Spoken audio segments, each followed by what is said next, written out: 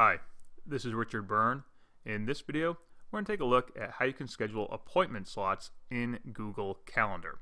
Now, it's important to note this is only available to you if you're using G Suite for Education or G Suite for Business. This is not available if you're just signing into Google Calendar using a Gmail address like Gmail, like richardbyrne at gmail.com. It won't work for that, but it will work if you're in G Suite for Education or G Suite for Business. So let's go ahead and get started here. I've already selected the calendar that I'm going to add the appointment slots on. And let's select now at 12 o'clock on Wednesday, I want to offer some appointment times. So rather than clicking on event, I'm going to click on appointment slot.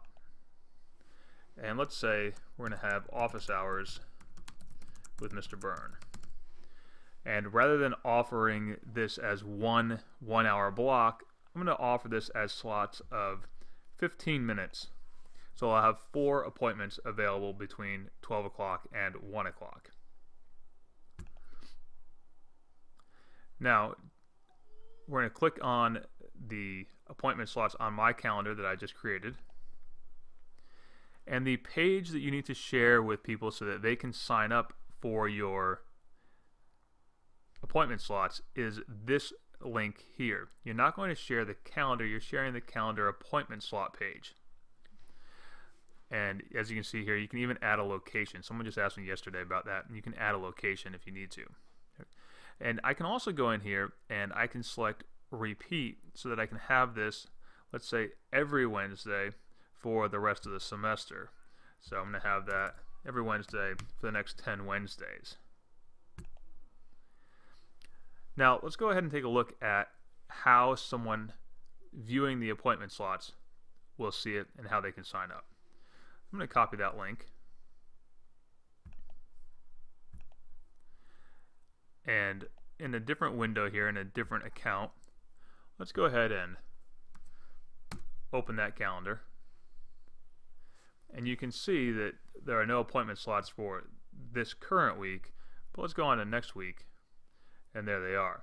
And now anyone can sign up by just clicking on the appointment slot time, okay. where, okay. if we want to, we can fill that in in description. Um, a student can come in and say, yeah, I need help with the research assignment